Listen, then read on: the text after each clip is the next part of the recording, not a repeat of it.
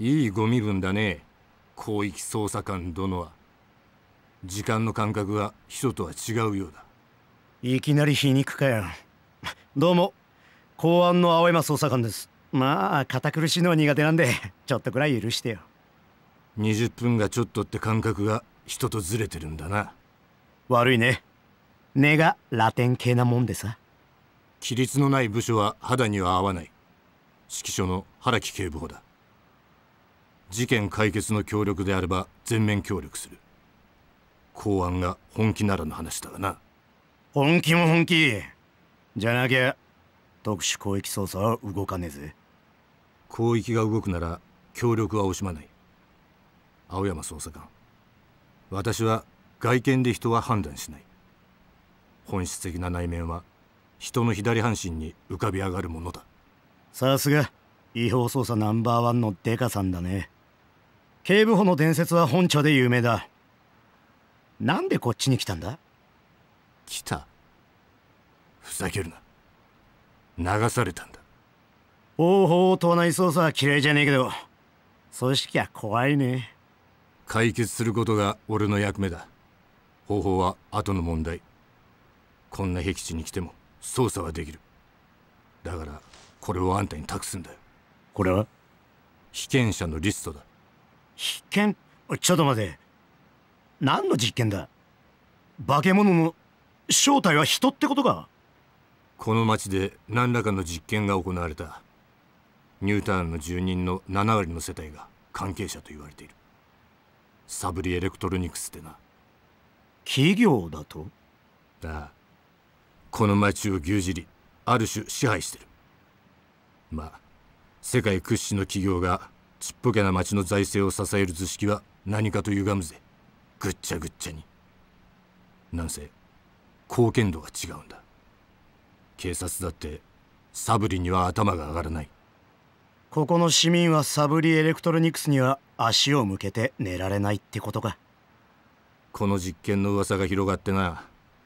バカバカしい話だが死んだ人間が悪霊となって徘徊してるとか。都市伝説扱いか警部補その噂まんざら嘘じゃねえぜ。は？その悪霊ってのは存在してんだよ。悪霊っつよりどっちかっていうと化け物なんだけどよ。本気で言ってるのか？ああ本気も本気よ。存在すんだよ化け物は。悪霊じゃなくてな。確かに。この町では何が起きてもおかしくはない。磁場が狂い人間の生活は分離している。病んでるんだよ町が。その雰囲気は感じるぜ。企業が町を支配してるだけでも異常だ。だがここは東京の歪みが沈殿するポイントだ。異常か。化け物といい。何が異常かって。たとえ化け物が本当だとしてもここの住人にはどっちでもいいことだ。真実は生きる上で邪魔なんだ。警部補は信じているのか？俺は解決することにしか興味がない。真実も事実も重要ではない。そっか。うんまあよくわかんねえけど。ま事件は任せてくれよ。悪霊でも何でも。俺様が退治してやるぜ。じゃあ早速頼むぞ。警察官にとって運も大事な能力だあんたいい出がだ。何が？そこの青年。あれが化け物なんだろ。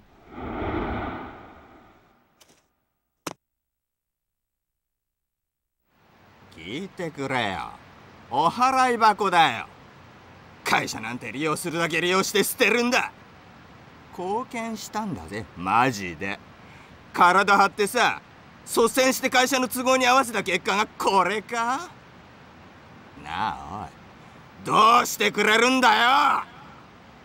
おい。てめえら笑ってんじゃねえぞ俺ら。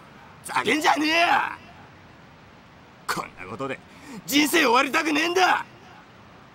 会社に捧げるだけの人生なんて絶対嫌だ。なあどう思うよ。なあそこで見てねえで。助けてくれよ。どうなっちまった俺。